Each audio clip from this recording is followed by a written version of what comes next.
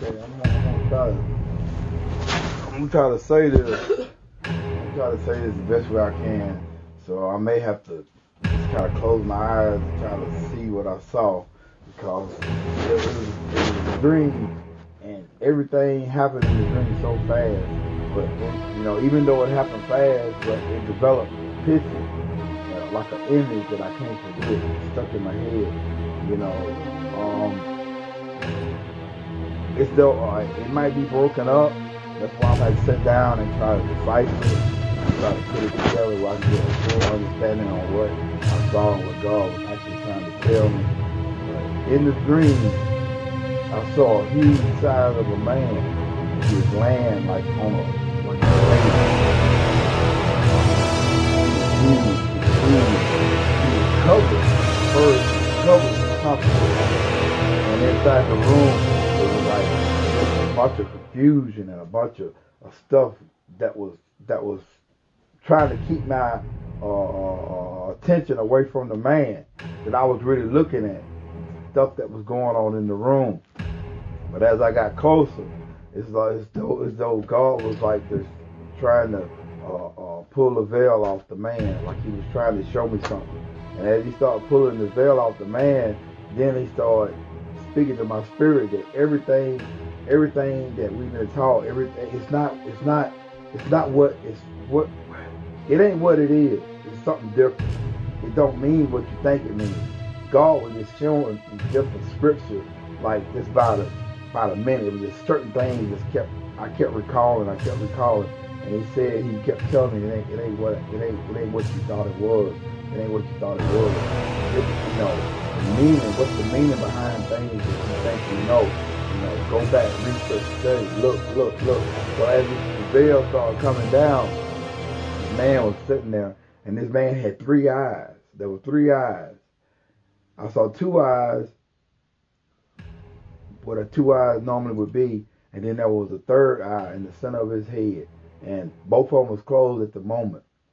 And then as God continued to pull the veil down, this man was chained, he was bound, and he was he was, he was just he was just he couldn't he was like he, he he wasn't mobile, he couldn't move. And then God kept bringing the kept bringing the veil down, and the more he bring it down, the more the room was just, just like spinning and tossing and confusion and stuff was going on and everything. Then his hands start twitching, his hands start moving. And then God, out of, out of nowhere, just like he showed me, all the 66 books, all the Bible, is come, it's like God showed me the, the whole Bible, the whole 66 books in this one dream. Everything came together in this one dream. Who is this man? All of a sudden, this man began to wake up. Then God was saying in his spirit, Jacob is awoke. Jacob is waking up. This man start waking up, and his hands open up.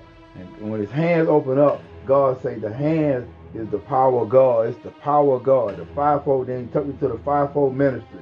Uh, the, the the prophet, the teacher, the, the preacher. Everybody's coming together. You know, uh, uh, uh, everybody's speaking. There are people speaking the truth that he got in the earth right now that are raising their voice, just like John raised his voice in the wilderness. They're speaking, they're speaking. And then God was showing me, he said, three, how did he put it? He said, uh, how did he put it? He said, don't, don't be fooled. Yeah, there it is. He said, don't be fooled by what you see. He said people was talking about the the the the the the the the, the mark of the beast and all these and trying to uh, correct the numbers and and been trying to look at the numbers and and six six six and this and that. He said ain't what you think it is. He said the 66 books in the Bible has just been fulfilled. God is saying that six the six books and man was created on the sixth day. The man that you're looking at is Jacob. The Antichrist has already been in the earth. The Antichrist is a whitewashed imitation spirit as who I am. No different than what he said in Revelation. those who say they're Jews that are not. They have formed a spirit which is from the synagogue of Satan. God is saying the mark on the head is the third eye. It's being opened. The mark on the hands is the hand of God that you're seeing. Jacob is being woken.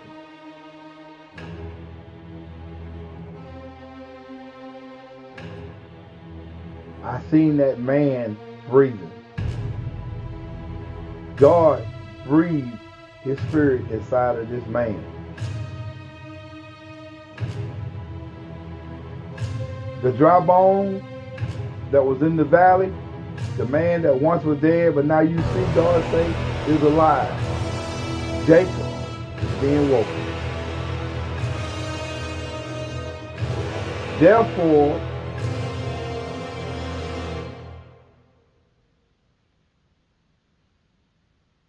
what we see in the earth is the confusion God was showing me that was in the room.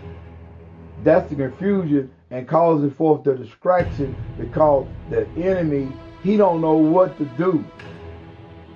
Because Jacob, Jacob is being woken. So the enemy is distracting us through media, through through through through the vaccine, take a vaccine, wear a mask, anything. He's trying so much distraction right now in the earth because he knows Jacob is being woken. And Esau's time is really up.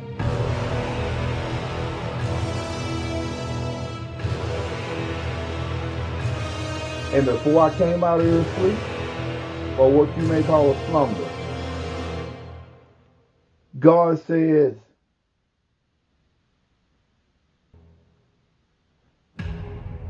this man is being woken. Can't be stopped. It don't matter if it's vaccine or not. Because this man got a God gene. This man is God's man.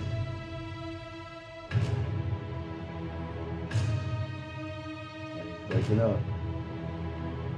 No different than when Samson realized who he was. When Samson realized who he was, even though the law had cut his hair off, but when Samson asked God, Samson realized he was and what had happened, and gained his strength. This man that I see is waking up. The earth is trembling. Creation is, is, is awakening also with him. So,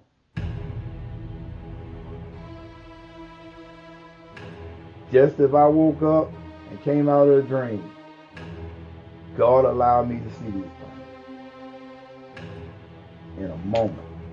It was just like that. I saw, I mean, it, it, it was just like, I saw all this just like a, but yet God just, and He showed it to me.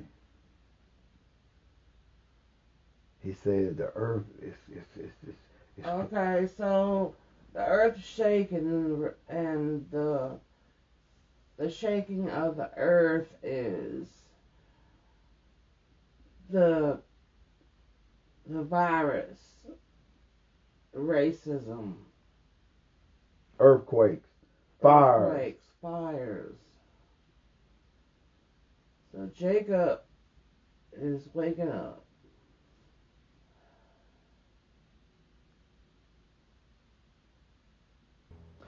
Jacob is waking up, and Jacob is the church. Jacob is the true Israel. Jacob is God's called one. Jacob is God's son that was chosen since the beginning of time. Jacob is the one to to to to, to be brought forth. Now, within the time that we actually in, the time frame that we in, like spiritually, spiritually, God can bring people into the fold during this time as well. Like it says, some will get saved in the midst of the tribulation. some will not.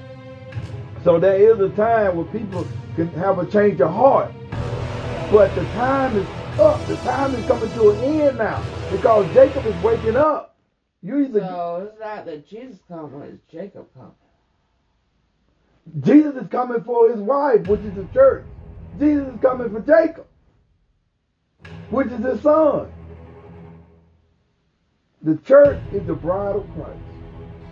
The church is who Jesus don't marry without a spot or blemish. See, you got to catch all the symbolism even though I'm saying one thing, but it means something else. I know that's what I'm saying. That's why God say what you see and what you've been seeing ain't what it really is. Let me show you what I mean. So therefore, then God began to speak. See, when we, we talk about the church, we're talking about the body of Christ. We're talking about is the bride of Christ. And then when Christ said he comes back for a church without spot or blemish, meaning this church is, is, is this is gonna be this is gonna be the ones that he have called out, and it's gonna be a select few. It ain't gonna be it ain't gonna be no, it ain't gonna be something massive. It's gonna be a few people within this time frame, as in what's going on, that's gonna really catch and understand from what God is saying. Now, what I'm saying is this: God's saying the fivefold ministry, which the hand of God, is in effect. There are preachers and teachers throughout the world right now. And I ain't talking about no four wall church, none of that. God didn't even mention. It ain't not, it ain't got nothing to do with that. A church with a steeple and a cross on top, that ain't got that's more abomination for God than anything. A church, God talk about people. God say, My fault, fivefold ministry, the hand of God is moving in the earth. And that hand of God is connected to Jacob. Because he also brought back and connect them bones that was in the valley in Ezekiel. Talking about the bones of God, when the bones came together. And then he asked them, can these bones live again? Because the bones were there dead. The bones didn't have life. God breathed on them bones. No different than when God showed me this man. God, I literally saw this man. God put breath in this man in this dream. I saw this. When the man, when God, it's though if you were to lay down right now and I put a, a sheet over you and I start from your head, well, it's just the way it was moving. It's though you ever seen like the movies when we be seeing the movies and they be in the bed. And then it's like a scary movie, but all of a sudden the sheet from the bottom start oh. being pulled off. Yeah. That's the way God revealed it. It's like He started pulling it back. And first, I saw the head. I saw when I saw when I say I saw the head, I ain't. You got to understand something. When God, the dream, when God gave you a dream, He only details what He wants you to see. I didn't like. I, I can't really sit and say when there's I saw a man and this man looked like no. What I saw was I know I saw a man. I saw a man because that's what that's what He put in my spirit. I saw a man, and then as He pulled the veil back, I saw eyes. No, I saw three eyes that were closed. No, the third eye, it was revealed. It was an eye in the center of this man's head, and it was closed. All three of them was closed at the time. And as that veil went down, God was speaking these things into my spirit, showing me these things. Then all of a sudden, when it got to the hand, this man's hand open up. And when this man's hand opened up, I saw, when I say I saw, I can't really tell you, I just saw all those gifts God gave us, they are being awakened right now in the earth. The fivefold ministry is in effect. They are preaching, prophesying, teaching, pastoring. I mean, doing everything they possibly could do during this time. And it, think about it. As all this was going on, the room was full of. Uh, it was a state of confusion. How how do I know it was confusion? It was confusion because that's what I felt in my spirit. I felt the distraction of all the stuff we've been seeing on the news, the media, all the stuff people saying, Afghanistan, get the people out. All these things were just rambling and moving in this room, and something was causing this stir. And then he's saying the Antichrist has always been in the earth. It's been here. It's a spirit. It's a spirit. And therefore, it's been an image that's been whitewashed. Everything that we thought that's been before us, that's been betrayed, saying this is the church and this is Jesus and this is what it is a lie. Jacob began to breathe. God breathed this. This man came alive. I saw this man waking up. God said the man is Jacob. True Israel, the church. Everything's being prepared. Everything's being prepared. That's powerful. That's powerful. Powerful enough that I had to really, really just speak it and get it. I had to say it because it's like it was in me. I saw it. And it's like, man, I got to say it. I got to, even though it might be gibberish right now, but somewhere God is working a formula that's going to say what you saw is true. See, the things that I'm speaking to you now, that's how I saw other things in my life that I quite quite didn't understand. Some of the things that I saw in my life, maybe I didn't really show share with anybody. But I saw these things, and I didn't know if these things would ever come to pass or ever become true. But as I got older, these things start unfolding unto me. And I really feel like now's the time that God has showed me a dream once again. And I said, man, if I can't speak it to no one else, I got to tell somebody. Mm-hmm. So that's why I said, Nancy, I got to get it out right now because it just happened. Mm-hmm. And I just saw it. Mm-hmm. You know, and I'm, I'm because we wondering like what's going on. And like I said, it's something you you don't feel something taking place like in your spirit. You I mean even though you go on your everyday yeah. life oh, yeah. we do, but do you feel like yeah. something got to happen? Like mm-hmm. like on, on, one minute you see all the chaos, mm-hmm. then the next minute it's like a sense of peace. Like you know what? Sooner or later, this this gonna like how can I put it? It's like Oh, it's like the movie. Remember the movie we were seeing? I don't even, I can't remember. You remember the movie we were seeing and then the storm and everything? And all of a sudden it was like first tore, the storm was out there and they was doing it. Then all of a sudden it just got clear. Mm-hmm. And the guy was saying, we in the eye, we in the eye of storm right yeah, now. Yeah, you know this and that, but we only got so many minutes, uh, whatever. Then we're gonna pass, and we'll be right out of yeah. it. And then how everything was just so calm, like, uh, and they was able to make adjustments and stuff like that. Yeah. And then the storm came back. And then it was just like, man, like, you know, so what I'm trying to say is that's the way I've been feeling like in my spirit, even though I know something is going on, like so much distraction in the world right now. People are confused right now. People don't know what to do. And that, that, oh man, that spirit that is like, oh, man, that got to be something. That, this is not of God. Like, we see things, we be like, no, man, this, that's what it is. That's the Antichrist spirit. It just, it, it, it just trying to get you to believe one thing and, and people saying this and, and, everything. It's like, how in the world can you truly go against the truth? Like, wh- why is you saying this is true when you know it's a lie? How can you believe that? Like, some of the things people are doing, you sitting there saying, I can't believe we done got to the point that people actually believe in this. They actually believe in this, Lord. Like, oh my God, like everything is like, it kind of like shocks you, but it's like God is saying, yeah, that's what that's what we at right now. People are that deceived, like, oh man, like, golly. But at the same time, deep down in your spirit, if you got God and you know God, there's a sense of peace, like, there's a sense of peace that's there. Really, really, I feel it like it's coming, like, like no different than they say the, the sea was raging and Jesus and the storm and all this and that and the disciples was in the boat and all of a sudden everything just cleared up and they looked and they saw Jesus just out walking mm-hmm. on that water. Like Jesus is the only thing that can that can really that can really save you through what's going on. And a lot of people going a lot of people gonna come to know him. And there's a lot of people that they gonna perish. They they gonna perish. So my thing is is that we continue to trust, strengthen our faith daily, and and just get closer, closer, closer, closer than we ever have been to God.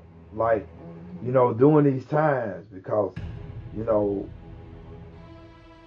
when God say there's a God gene, when God put a God gene, if you got a God gene inside of you, can't nothing hurt you. You know,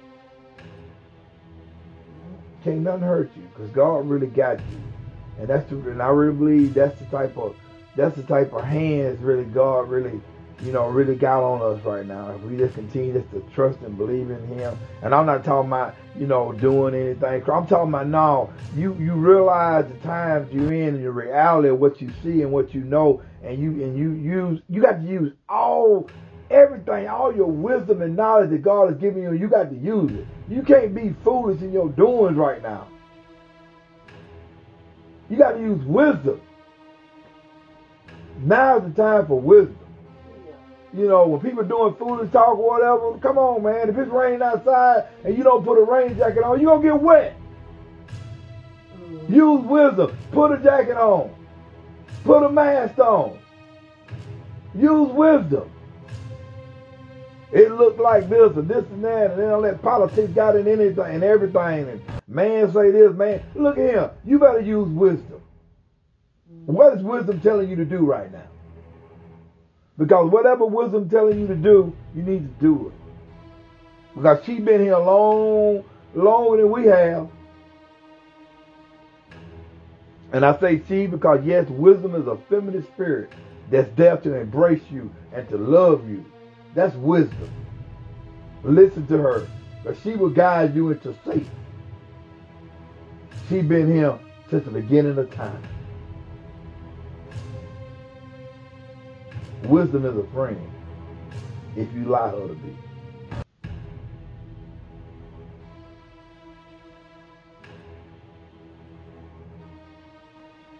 And the church say, mm-hmm. Amen. So be it.